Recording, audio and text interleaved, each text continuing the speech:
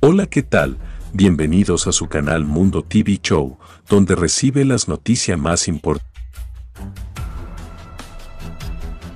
del país y el mundo. Si eres nuevo no olvides suscribirte y activar la campanita de notificaciones para que no te pierdas ninguno de los vídeos que subo al canal.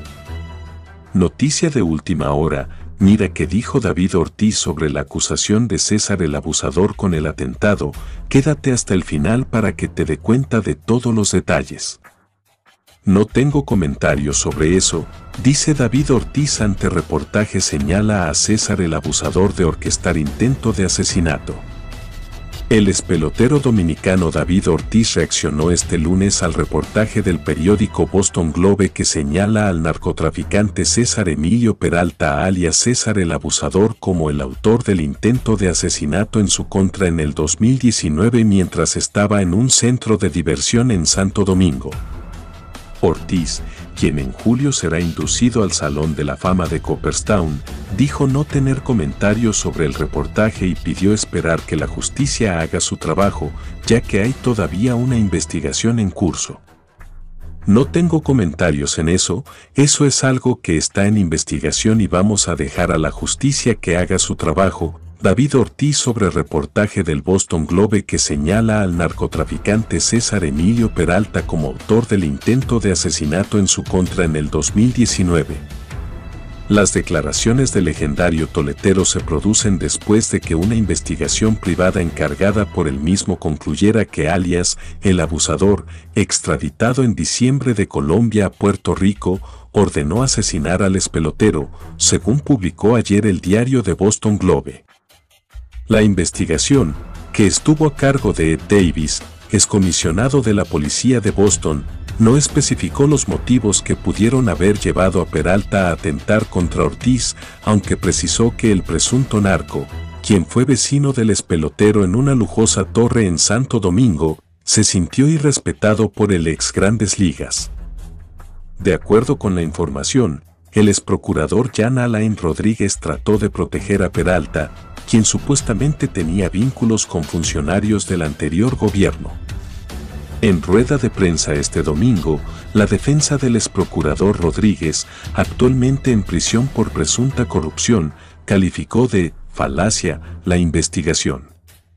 Asimismo, desmintió que Rodríguez haya llamado a Ortiz para que refrendara la investigación realizada por las autoridades dominicanas, que concluyeron que todo se trató de una confusión.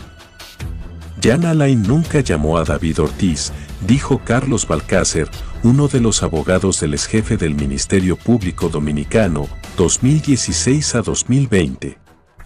Ortiz, elegido en enero pasado miembro del Salón de la Fama de las Grandes Ligas, fue herido de un disparo por la espalda el 9 de junio de 2019 en un bar de Santo Domingo cuando compartía con un grupo de amigos. Las autoridades que investigaron el incidente aseguraron que se trató de una confusión, pues los ejecutores del intento de homicidio lo confundieron con otro hombre. Luego de su recuperación en un hospital de Boston, Ortiz dispuso una investigación particular que, según el exjugador, también concluyó en que se trató de una confusión. Por el caso fueron imputados 13 hombres, entre ellos el supuesto autor intelectual, Víctor Hugo Gómez. Gloria Reyes le responde a Margarita, en este gobierno las mafias son enfrentadas, no como en el pasado. La directora general del programa Supérate, Gloria Reyes, respondió este lunes a las declaraciones de la ex vicepresidenta de la República y aspirante presidencial del Partido de la Liberación Dominicana, PLD, Margarita Cedeño, sobre que los nuevos hallazgos sobre el intento de asesinato del astro del béisbol David Ortiz, se trata de una treta para desviar la atención en relación a los millones sustraídos en tarjetas para la asistencia social. La funcionaria, vía Twitter, dijo que en el gobierno que preside el mandatario Luis Abinader las mafias y los escándalos de corrupción son enfrentados y sometidos a la acción de la justicia, cosa que, a su entender, no ocurría cuando Cedeño era vicepresidenta de la República durante los mandatos del expresidente Danilo Medina, 2012 a 2020.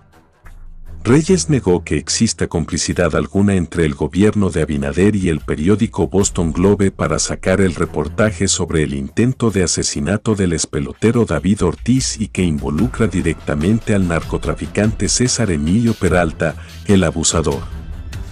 Declaraciones de Margarita Cedeño atribuyéndole al arroba Boston Globe complicidad con arroba presidencia RD me motivan a dejar claro que en Almohadilla Supérate y este gobierno los escándalos y las mafias son enfrentadas, perseguidas y sometidas a la justicia, lo que no hicieron en el pasado, indicó Reyes en Twitter.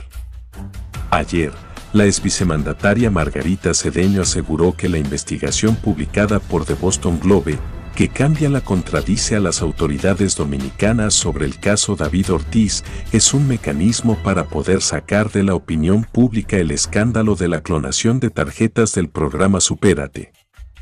La información publicada por el diario indica que César Emilio Peralta, alias César el Abusador, mandó asesinar a David Ortiz, que tanto la Procuraduría General de la República y la Policía Nacional, del momento, se negaron a cooperar con la investigación privada que mandó a realizar el espelotero de grandes ligas. Creo que también es un mecanismo para poder sacar todo el escándalo de supérate de los 400 millones de pesos que le han sacado a las familias de Progresando con Solidaridad, dijo Cedeño. De acuerdo con declaraciones ofrecidas a medios de prensa por la directora general de Supérate, Gloria Reyes, miles de beneficiarios de este programa no han podido hacer uso de sus fondos debido a la suplantación o clonación de unas 30.000 tarjetas en el sur y la provincia Santo Domingo el mes pasado.